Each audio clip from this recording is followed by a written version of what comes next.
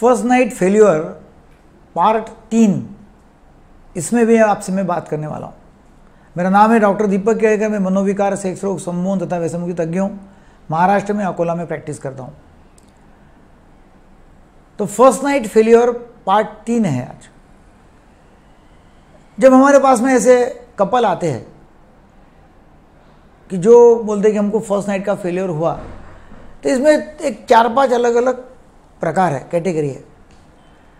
कुछ लोग ऐसे हैं कि फ़र्स्ट नाइट के पहले ही हमारे पास में आते हैं उनको बोलते हैं अर्ली बर्ड और हमारे पास में आके पहले जानकारी लेंगे पूछताछ करेंगे क्या करना ज़रूरी है क्या प्रिकॉशन लेना है।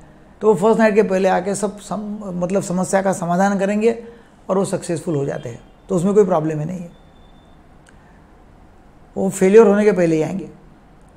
फिर दूसरा जो है वो है आफ्टर मैरिज कि फ़र्स्ट नाइट में फेल हो गए और उसमें 30 से 35 टक्का लोग ऐसे कि वो तुरंत दूसरे दिन आ जाएँगे और पूछेंगे भाई क्या करना।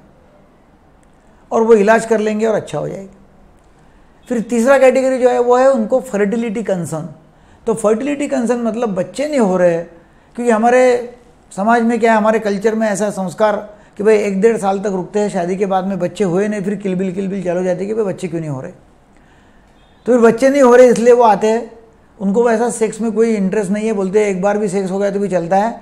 मगर अभी लोग बोल रहे हैं इसलिए हमको कांटेक्ट करना ज़रूरी है और हमको बच्चा होना ज़रूरी है इसलिए वो आते रहते हैं। तो ये बीस से तीस टक्का लोग जो बच्चे नहीं हो रहे करके आ रहे एक्चुअली उनको रहता है फ़र्स्ट नाइट प्रॉब्लम उनको कॉन्टैक्ट हुआ नहीं रहता कभी भी और फिर इसलिए बच्चे नहीं होते। फिर चौथा जो है वो रेजिस्टेंट केसेस है। रेजिस्टेंट केस मतलब ऐसा है कि वो आ, मतलब उनका कांटेक्ट होता ही नहीं है।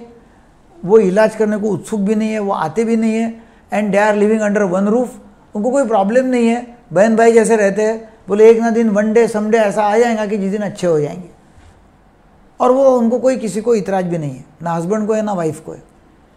पांचवा कैटेगरी जो है, जो हमारे पास में आता है कि अभी हमारे से हो नहीं रहा है सक्सेसफुल नहीं है, हमने कोशिश की, हमको डाइवर्स होना है तो उसके लिए क्या करना चाहिए?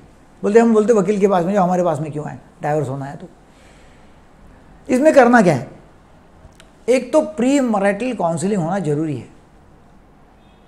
और प्री मराइटल काउंसिलिंग यदि हर एक कपल का होता है और उनको यदि सेक्स एजुकेशन हम देते हैं, उनको अधिकृत साइंटिफिक किताब सेक्स के ऊपर, जैसा मैंने पहले बताया कि मेरी आनंदी वैवाहिक जीवन एक किताब है।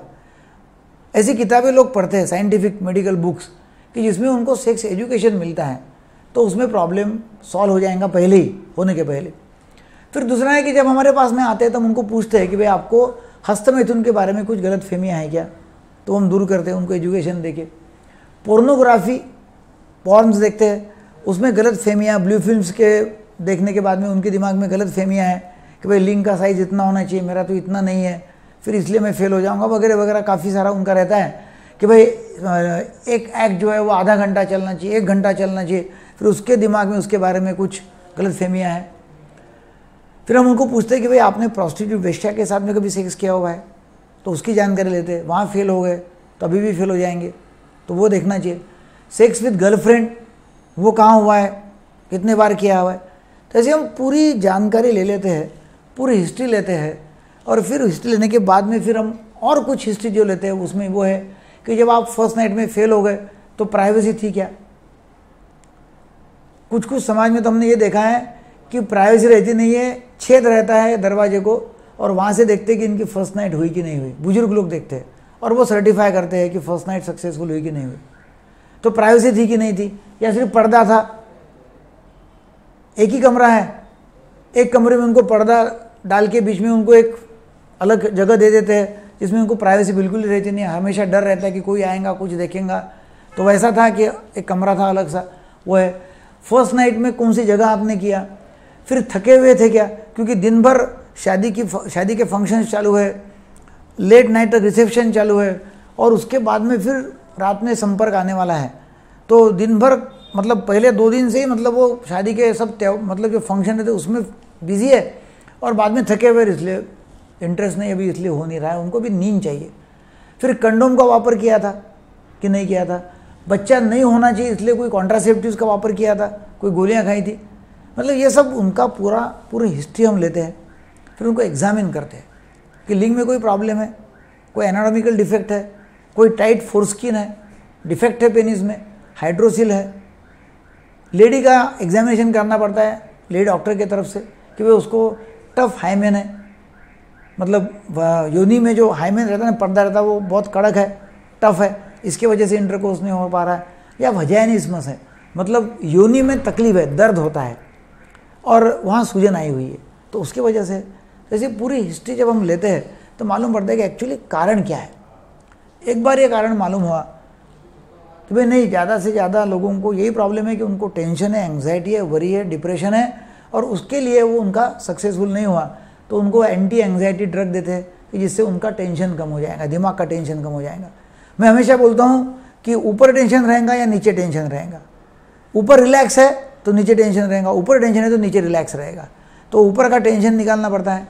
फिर सेक्स टॉनिक्स जो अधिकृत है एलोपैथी में जैसा सिल्डेनाफिल है टाडाला फिल है, वो हम सेक्स टॉनिक उनको देते हैं।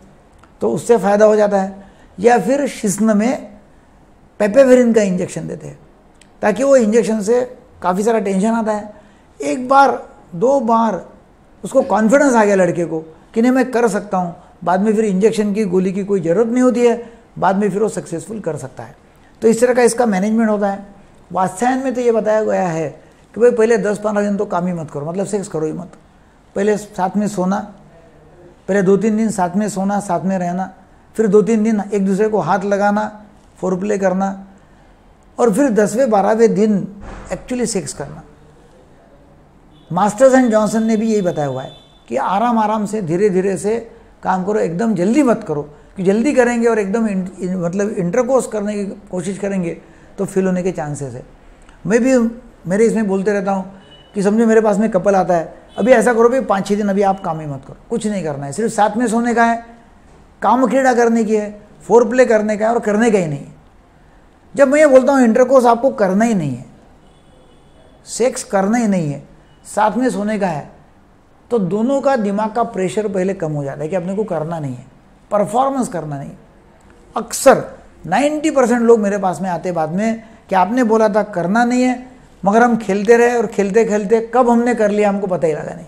टेंशन दूर हो गया क्योंकि करना नहीं है परफॉर्मेंस एंग्जाइटी वो नहीं थी, सिर्फ़ खेलना था, उसमें कब हो गया पता ही नहीं चला और हम सक्सेसफुल हो गए। तो इस तरह का इसका मैनेजमेंट होता है। ज़रूरी लोगों को शेयर करो कि लोग ये बातचीत बाहर करते नहीं हैं। तो आपके ग्रुप्स में फैलाओ लोगों को बताओ, क्योंकि इसकी चर्चा होती नहीं है। और लोगों को गलत फहमी मिलती है येलो बुक्स के ज़रिए। यूट्यूब में जो कोई फालतू वीडियो रहते हैं वहाँ से, या फिर पॉन से। तो ये आप अधिकृत लोगों को ये वीडियो शेयर करेंगे, उनको साइंटिफिक नॉलेज मिलेगा तो ये प्रॉब्लम काफ़ी हद तक, काफ़ी हद तक हल हो सकता है। आपको वीडियो अच्छा लगा तो सब्सक्राइब करो शेयर करो। बेल आइकॉन है तो उसके ऊपर क्लिक करो ताकि मेरी वीडियो की नोटिफिकेशन आपको जल्द से जल्द पहले बार आ जाएँगे। वीडियो देखने के लिए बहुत बहुत धन्यवाद। Thank you very much